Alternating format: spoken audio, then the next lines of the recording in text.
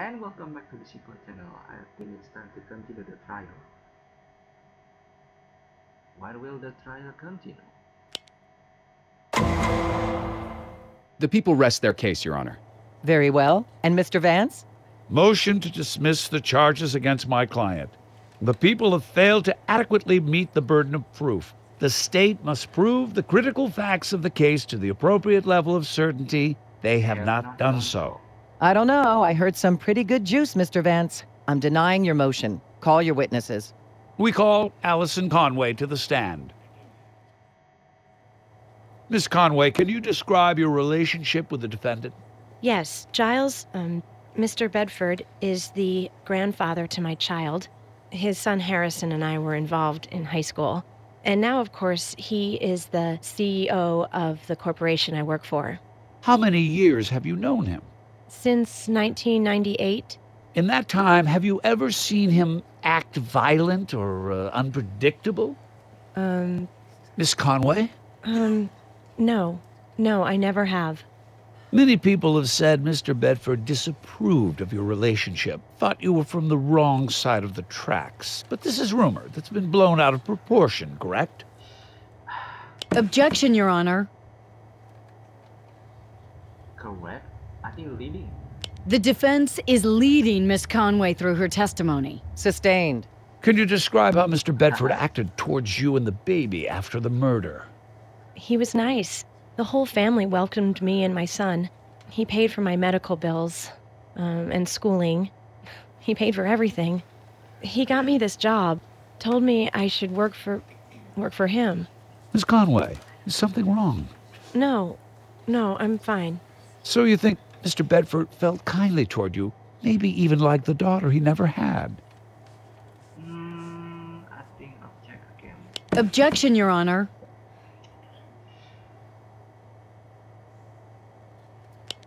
So you think Mr. Bedford felt kindly toward you, maybe even like the daughter he never had? I think speculation. Speculation. Miss Conway can't read Mr. Bedford's mind. Sustained. And in your opinion, did Mr. Bedford treat you like someone he was ashamed of or did not like? No.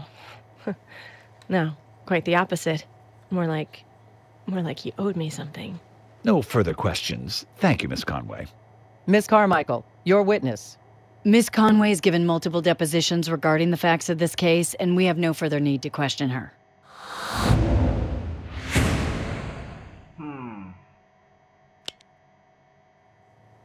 Dr. Markovitch, how long have you been treating Giles Bedford? I've been the family doctor for over 13 years. And in that time, did you treat him with Banaxoline? Yes, I did. Mr. Bedford works in a very high stress financial situation, and he wanted medication that would help him relax and be more effective. Did you ever observe any side effects? No, I did not, nor did he report any. Have any of your patients or any patients you've heard of ever reported side effects while on Banaxoline? Objection. Relevance. Relevance. The medical histories of other patients are completely irrelevant. The doctor is testifying about Mr. Bedford. Sustained. In the 13 years you have treated Mr. Bedford, have you ever seen him display aggressive or violent tendencies to anyone in his immediate family on medication or off it? No, sir. No, I have not.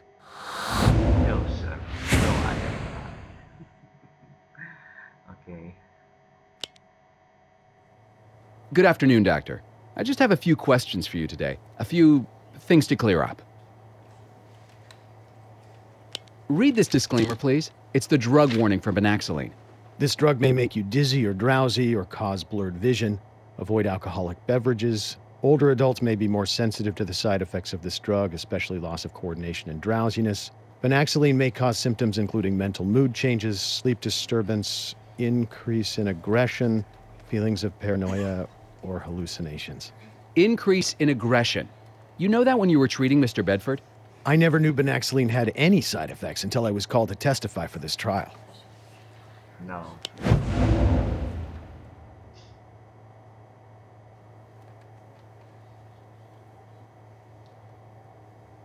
Yep, he told detectives he had nasty side effects. He told Detective Curtis.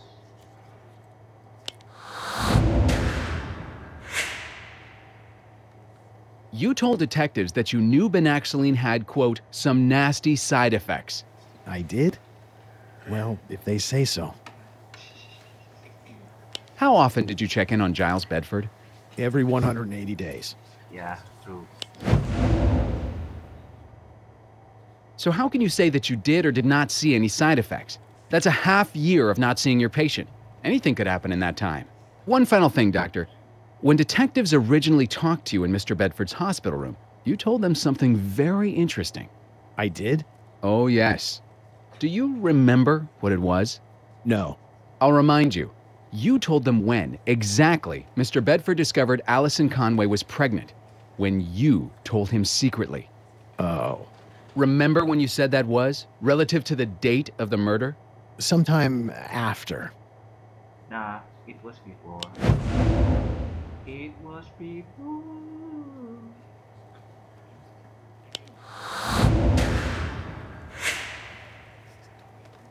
No. You told Giles Bedford that Alison was pregnant before the murder. Before. Before. He knew about the secret pregnancy because you told him. And he was angry. You said so yourself. Yes, uh, furious. So furious, in fact, that he contacted Frank Vincenzo Jr. and arranged to have her shot dead. In cold blood. I.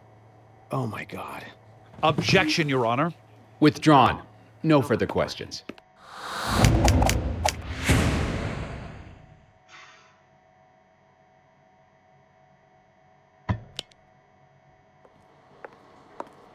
Alison, what are you doing here? I want to talk. As long as the trial is still underway, I'm afraid there's not much I can say to you. Fine, so I'll do the talking.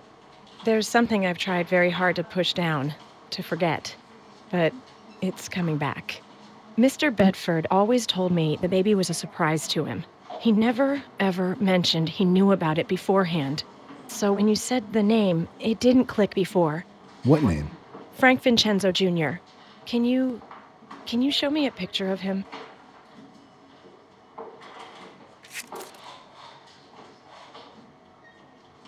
Thank you. You're welcome. Your Honor, the people call Alison Conway to the stand as a friendly witness. Objection. What's going on here, Mike? Both of you, approach. Alison Conway recently had a breakthrough, and her memory is crucial to the people's case. We want to call her to testify. I've had no warning of this. She has additional evidence to present. I'll move for a mistrial as soon as she leaves the stand. And I will decide whether your motion has merit, counselor, but not a moment before. Now, take a deep breath and listen to what your witness has to say. You introduced her. Now you get to take your lumps, Mr. Vance. Mr. Cutter, your witness.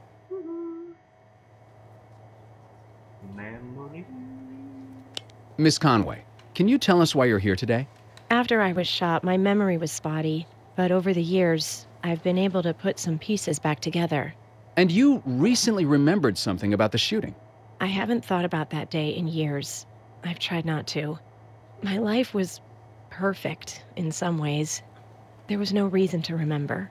But this trial, it's all coming back. Tell us about what you remember on the day of the shooting. It was a school day. I went to Harrison's house in the afternoon, like I usually did, but he wasn't there.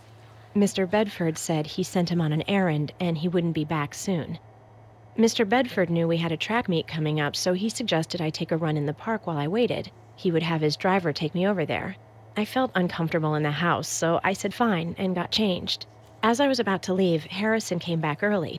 He asked where I was going, and when I told him, he said he wanted to come with me. He was scared about the pregnancy, but protective too. Proud, even. So it was just the two of us out for a run. Harrison didn't even bother changing. I remember he had this funny Argyle sweater on.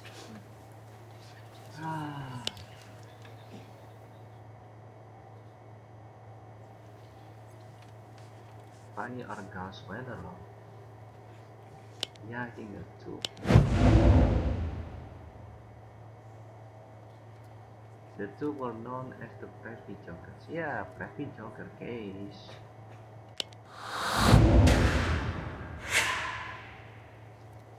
Anyway, we got in the car and Harrison noticed right away. The driver, he was new. Harrison asked him his name and he told us. I remember it because it was a funny coincidence. He had the same name as Harrison's brother, Frank. When Detective Curtis showed me the picture of Frank Vincenzo Jr., I knew. I knew what you had done. It wasn't enough you wanted the tramp from the wrong side of the tracks out of your son's life. You wanted me dead. And your unborn grandchild. No. No. Frank wasn't a driver, he was a hitman, hired to kill me. And he followed us into the park. But then Harrison fought back, protected me. And he ended up paying the ultimate price for your anger. When you realized what you had done, to assuage your dirty, rotten conscience, you took me in, paid my bills, bought my love and loyalty. You bastard! Miss Conway, Well, the truth is out, Giles. And now the whole world will know what you are.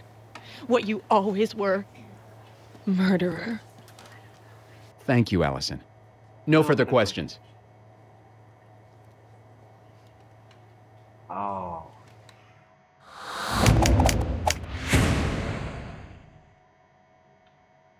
Wow.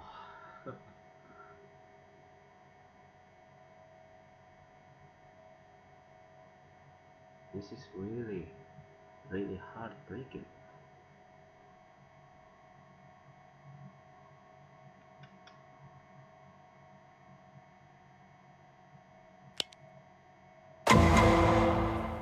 How long has the jury been out? Six hours. What do you think they'll come back with? Lots of circumstantial evidence. Defense knocked us around pretty good. Jerry likes us. Sure. But remember, all it takes is one. One person to undo a decade of police work. Lenny would be proud, Ray. I hope you know that. Thanks, LT. Showtime. have you reached a verdict? We have, Your Honor. And how do you find? On the count of murder in the first degree, we find the defendant, Giles Bedford, guilty. And on the count of attempted murder? Guilty. We thank you for your service. Defendant is remanded into custody until sentencing. Well, Vance has already filed his appeal. Of course. We saw that coming a mile away. Doesn't matter. You won today, and that's what's important. And tomorrow, do it all over again. That's how it worked when I was ADA. But tonight, we celebrate. Dinner's on me. Oh.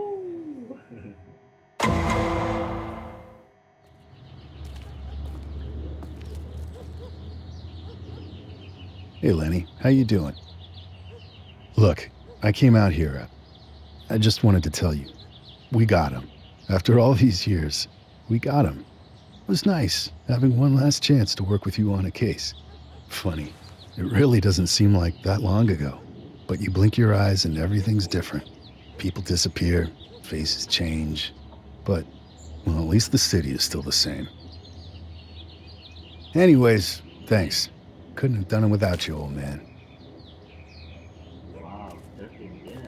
That's too long. Very long. Too long. Yeah. I think this is the end of the game.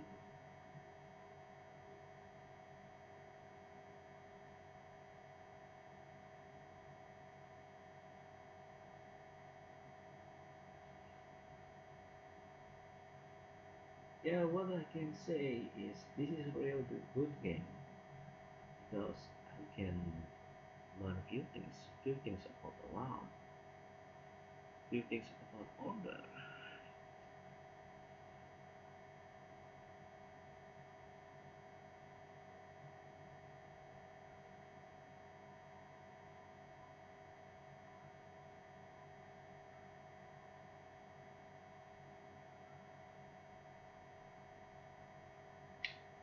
And I think uh, I will play other law and order games if,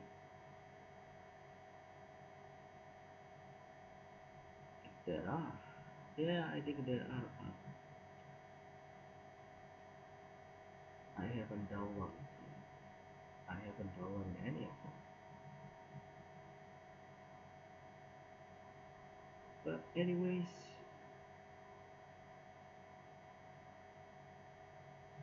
That's all for today. Thank you for watching. Click on like if you like it, share with others and subscribe for more videos. See you later